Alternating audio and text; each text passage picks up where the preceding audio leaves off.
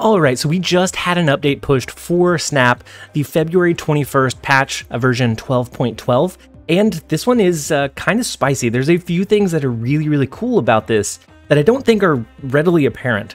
So, of course, these series downgrade happened. So, Silver Surfer, Null, Hawk, and Sentry all are going down to four. Agent Coulson, Maria Hill, Helicarrier are all going down to Series 3. So, those should be more attainable. I think the Series 5 to 4 downgrade is a lot more impactful than the 4 to 3. But there are still some pretty decent uses from Coulson. Uh, every once in a while, I see a Maria Hill or Helicarrier, and the downgrade happened a little bit faster than what I was expecting.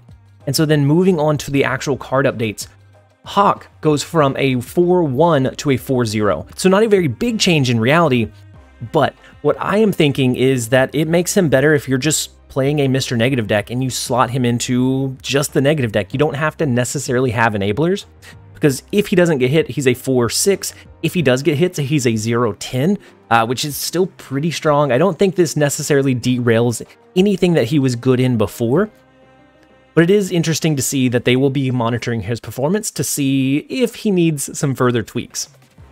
And then the next one is kind of a surprise to me. We have Thanos. Thanos is going from a 6'8 to a 6'11, so a straight buff in terms of power. And this is interesting to me because Thanos decks already feel like one of the best decks in the game, and now he's even a little bit stronger. So a lot of those decks that are running well have the Lockjaw Casino component and so you're just going to have some extra power push on the board potentially if you happen to cycle into him. And then if not, a 6-11 on the last turn is pretty decent if you don't have a better play line, or if you do have all of the stones and you have the power stone on the board, a 6 cost 21 power is huge and could be the game breaking difference. This is really surprising to me. I think it's probably going to be surprising to a lot of others out there is because Thanos already feels in a really, really good spot. Not playing that card itself, but just overall the archetype feels really, really strong.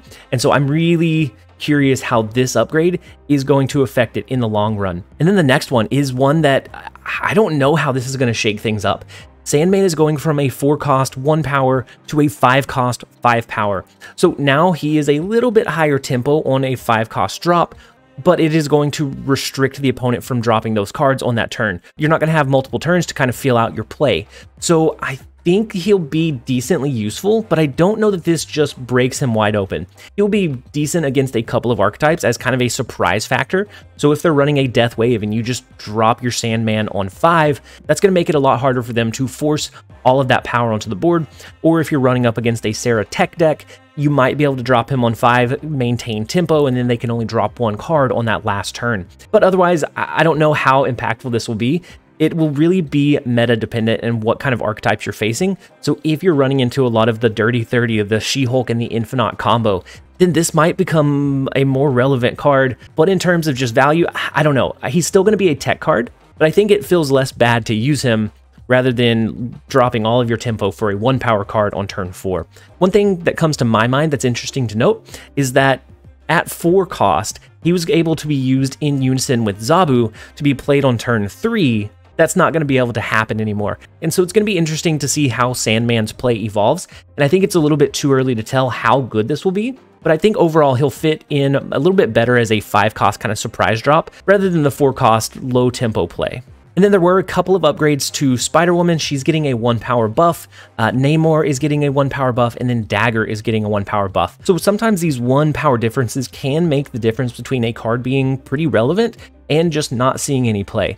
Do I think that any of these three will just become meta defining? No but I think it feels a little bit better to slot them in whenever you need to now. We have an update to Sakaar. Before it would pull a card immediately after that location revealed, and it would create some kind of weird interactions between Storm and Wave, and so now the text is going to be updated to after this turn, put a card from each player's hand here. And I kind of like this a little bit better. It gives you an extra turn to try to play around this location rather than it just being a complete surprise.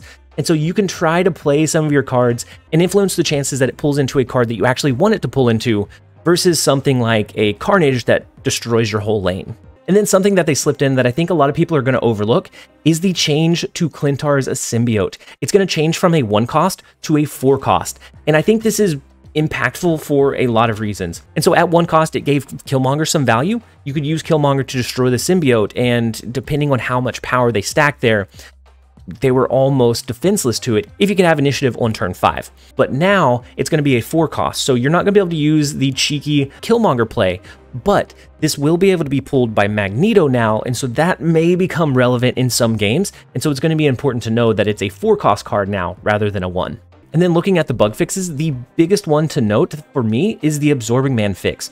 So before, he wouldn't work correctly when used in locations like Kamar-Taj or used in combination with a Wong or an Odin, it wouldn't correctly double that effect. So even if he was used in the Wong lane, it would trigger the Wong number of times. It would only trigger once instead of two.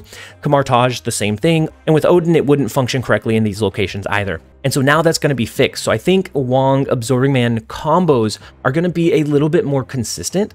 And one extra trigger of a really impactful on reveal could be the difference between winning or losing. So looking at a Gambit, one additional card destruction could be a game breaking change. One additional trigger of Hazmat could change the outcome of the game drastically. Silver Surfer, White Tiger, the list kind of goes on and on, but I think this bug fix is going to be really impactful for certain archetypes. And then one that I almost missed, it's not impactful for the game necessarily, but Mysterio's illusions now use Mysterio's variant. Having a variant has a little bit more value now versus what it did before. And so overall, I think this patch has a lot of good changes, a lot of good updates, and I'm really excited to see how this shakes up the metagame. I think Hawk will still be relevant. I think Thanos is still going to be all over the place.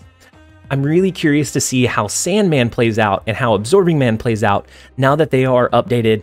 And so overall, I think it's a decent patch. I am a little bit afraid of the Thanos power, but otherwise, I think it bumps a couple of cards in the right direction. And the biggest win of all is the series downgrade. So now some of those really cool cards are much more accessible.